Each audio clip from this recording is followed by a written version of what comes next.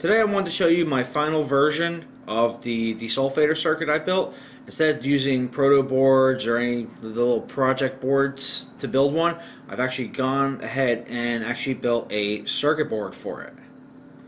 Makes it a lot easier and much cleaner and in a much smaller area. So works out really well. Let me turn the camera around. I'm going to show you how to do it real quick and then I'm going to jump onto the computer and show you how to order your own boards because these are now open source. Anyone can order these on your own without having me in the middle of it and you can build your own desulfators a hundred times easier than trying to do it on a bunch of proto board.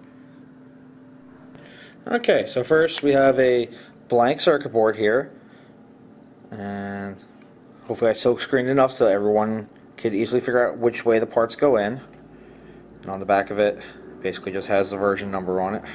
This is, uh, the silk screen's changed a little bit in the final version, but this gives you a general idea of exactly how it looks.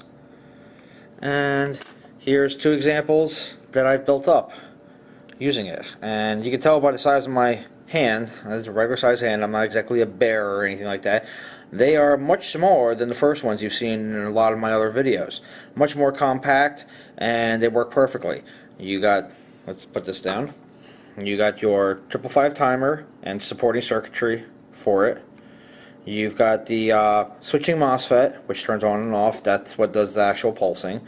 You got your two inductors laid up here, and your actual power connectors, positive, negative, directly to your battery, and your re automatic resettable fuse, and one big diode down below there. And everything works out beautifully. Comes out nice and clean. So all you have to do is make yourself up two battery cables, keep them as short as possible, and you just plug them into here and connect it up to your battery. So just putting this in like a little Radio Shack uh, enclosure or something like that to protect it so it doesn't short out or anything. Trust me, it does not get hot. Everything runs maybe warm to the touch if you're lucky. And so you don't need a fan on it or anything else like that. Put it in a little safe enclosure, put it on a battery, and have a good day. So now we're going to go jump over to the laptop, and we're going to go onto the top of the screen here on a screen capture. I'm going to show you exactly how to order these boards so you can um, build your own desulfators.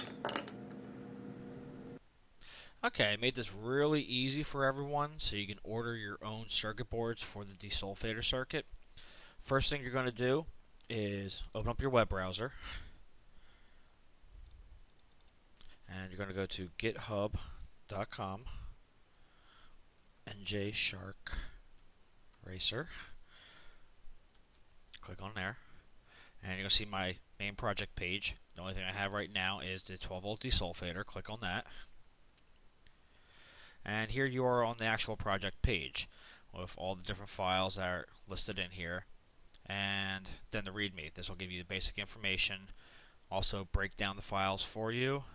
And if you really like this project that much, uh, right here there's a little Pledgie button. If you can throw me a dollar or two, that's great. It doesn't go to pay my bills. It goes so I can play with more electronics and do more projects like this. And I appreciate anything I get. But to go ahead and order your circuit boards, go back up to the top here and you go find this little button right here it says download from the cloud zip. Uh, click that. Save the file to your computer. And it's already finished downloading. Close out your browser.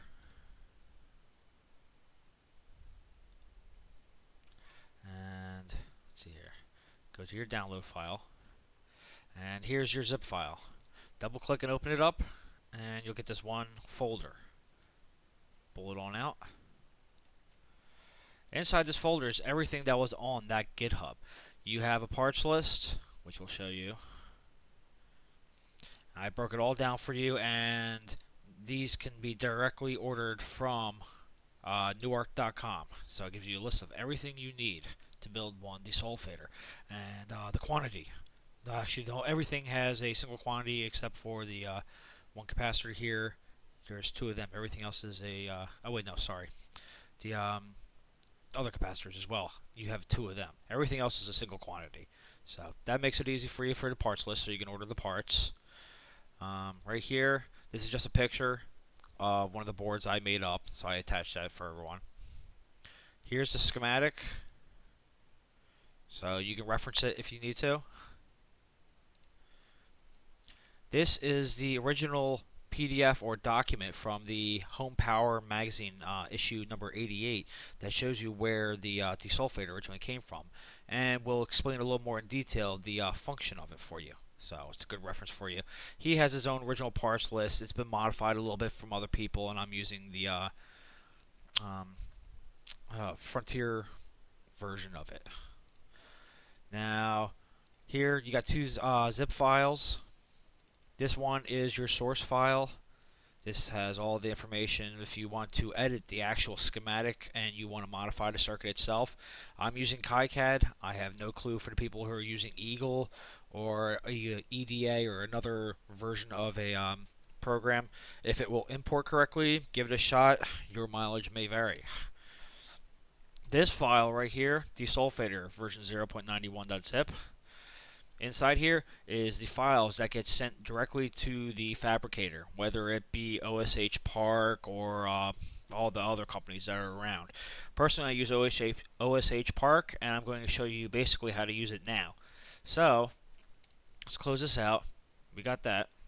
Let's go back to our browser. It would help if I click the right button. There we go. So, let's go to OSH Park.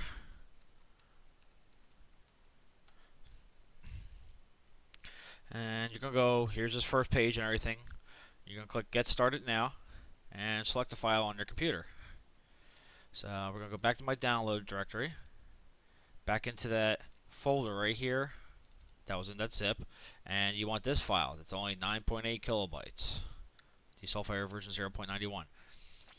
Click on it, it's going to start processing the file and upload it to them real quick. You can add a uh, project name and description if you want to. I'm just going to leave it blank for right now. It takes anywhere usually between like 10 seconds to a minute for it to um, finish processing the file, and then it'll pop up with some extra information for you.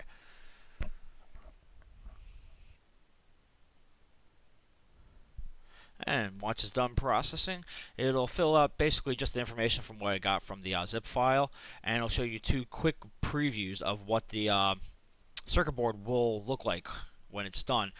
Gives you uh, detected a two-layer board, gives you the dimensions of it in inches and millimeters, and how much it costs to get three of them. Now you have to order three at a time with this guy. Uh, that's the minimum order, and 1170 for three of these for the size of the board is actually not a half bad price. You can shop around. Um, click continue, and it's going to give you more of an exploded view and show you exactly what it's set up for. The uh, top of the board with the silk screening and what it would look like when it's done. The bottom of the board. The bottom layer, this is the bottom layer of the copper that will stay on. And that's the solder mask. This is basically where the um, that little blue covering that protects all the copper. This is where it will not be applied, basically all over all over top all the holes, which is where you do not want it. The bottom silk screen, yes, it's inverted, but that's just the way it displays. It's perfectly fine. The board outline always shows a block because I always do everything in blocks. I don't do it in squares or cutouts or anything weird like that.